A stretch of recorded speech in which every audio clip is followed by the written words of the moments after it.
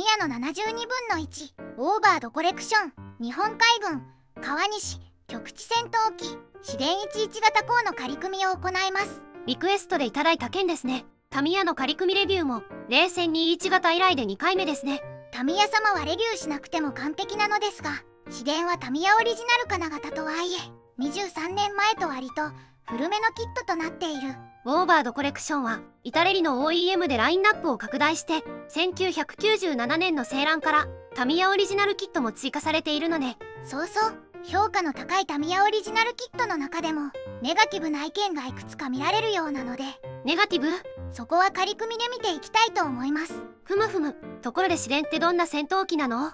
試練は水上戦闘機である強風がベースとなっている戦闘機。水上戦闘機？フロートをつけた戦闘機のことで飛行甲板を持たない船舶でも運用できたり占領した当初防衛と飛行常設営までのつなぎとして活躍した戦闘機なんだ。なるほど。水上機なので滑走路が必要ないのですね。冷戦をもとにした2式水戦が有名で陸上機を改造して水上機として来たんだけど強風は最初から水上戦闘機として設計された機体なんだ。陸上機からの流用ではないのね。そうそう開発を行った川西飛行機からの提案で強風の陸上機化が海軍に提案されたみたい。これまでとは逆コースね。冷戦の後継機開発が遅れていた海軍は川西飛行機からの提案を受け入れて出来上がったのが試練というわけ。なるほどね。ちなみに試練11型が今回のキットとなり試練21型は以前取り上げた試練会となる。さらに回収を進めたのが試練会というわけね。そうなのだ同スケールで他メーカーからも出ているの？時系列で説明します。お願いします。最初に出たのは MPM からで1992年のこと。簡易インジェクションキットですけどね。MPM チェコのメーカーね。今はスペシャルホビーですね。さらに1994年に青島から身体戦機シリーズとして発売された。日本ではこちらが最初ってイメージですよね。そして2001年に今回紹介するタミヤから発売された先に販売されていた48分の1をスケールダウンしたキットかな。タミヤは傑作機シリーズからのスケールダウンが多いわね。2008年にはコプロからも出ている。こちらは青島の OEM みたいね。コプロはチェコの KP モデルズね。2016年にコラモデルスからも出ていてこちらも青島の OEM のようです。コラモデルスもチェコのメーカーね。最後は2017年青島からで以前のキットに新規パーツを付け加えたバージョン2として発売された以前紹介した試練会と同じね。まずはパッケージ内容を確認するのだお願いします。パッケージは完成イメージとなっている最近のキットは違いますがウォーバードコレクションは完成イメージをパッケージイメージとしてましたね。では中身を開けていくのだグレーのランナーが1枚透明パーツが1枚ポリキャップが2個デカール。組み立て説明書なのだ。塗装図。マーキングは4種類。筑波海軍航空隊所属機。横須賀海軍航空隊所属機。第341海軍航空隊所属機。同じく第341海軍航空隊所属機となる。なるほど。部品点数は54点。72分の1対戦機にしては多い構成。この数の部品をランナー1枚にまとめてるのねではではタミヤの72分の1オーバードコレクション日本海軍川西局地戦闘機試練11型鋼の仮組みを始めるのだ。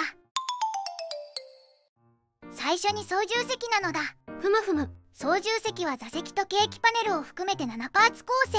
ケーキパネルは凹凸がモールドされているのでその上にデカールを貼る形となっている軟化剤を使えばモールドにぴったりとなるかもね。シートベルトはデカールで表現するみたい。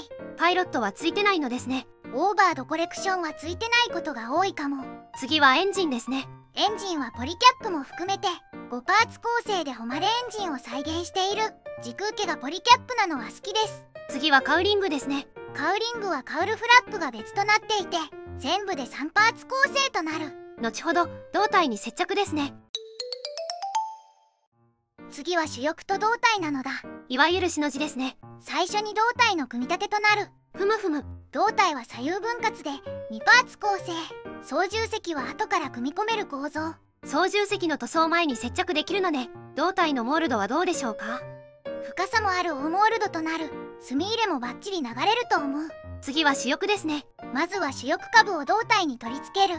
取り付け部に主翼上部を左右それぞれ接着となるなどと説明しましたが最初に貼っても大丈夫でした。主翼のモールドはどうでしょうか？胴体同様でオーモールドとなる。こちらも深さもあるので墨入れがバッチリ流れると思う。ここまでできたならば機種にエンジンを接着する。次は水平尾翼ですね。水平尾翼は左右それぞれ1パーツずつ胴体に差し込む簡単な構造。ここはいつも通りですね。最後にカウリングをかぶせて終了なのだ次はクリアパーツや足回りなのだ。ふむふむ。キャノピーはワンピースとなっているので操縦席の開閉選択ができない。透明度は問題なしね。次は足回りですね。まずは左右四脚四脚は左右それぞれで4パーツ構成。四脚にタイヤとカバーを接着するのね。胴体に接着するカバーもあるのね。次はビリン部分。ビリンは別パーツとなっているので胴体に接着ビリンが別パーツだと組み立て時の取り回しが楽ね。次は飛行姿勢で組む場合。パイロットがついてないので調達する必要がありますけどね。主翼カバーは問題なく接着できそう。ビリンは格納させるには加工が必要となりそう。次は武装ね。武装は左右それぞれにガンポットを吊り下げる。さらに胴体下部に増装を吊り下げる。その他補助冷却機などをつける。アンテナや気筒管も忘れずにね。最後に総評なのだ今回はタミヤ72分の1オーバードコレクション日本海軍川西局地戦闘機市電11型鋼の仮組みレビューしたのだ。仮組み後の感想はどうでしょうか？タミヤということでストレスなく組めたと思う。最近のキットによくある構造で胴体接着後に操縦席を組み込めるのも好印象。合わせ目消しを考えるとパーツの接着乾燥に時間を取りたいですしね。そうそう乾燥中にコックピット塗装などの細かい作業を進められるのは効率的で時短にもつながるかなと。最初に言っていたネガティブな部分は？胴体と主翼に若干の隙間がある。ここは接着の際に固定すれば問題なしかなと。その他には？カウリング形状に不満意見があるみたい。青島のバージョン2の方が形状イメージが合うみたいね。カウリングに関してはカウルフラップが別パーツになってました。この部分も評判が芳しくない。とはいえ今まで挙げた項目は高品質なタミヤブランドの中での不満点。全体的には組みやすいしディテールもしっかりしている高キットってことね。普通に飛行機プラモデルを作っている人ならばそこまで大きな問題点ではないかなと。ではでは動画を最後までご視聴していただきありがとうございますなのだ。チャンネル登録と高評価をお願いしますなのだ。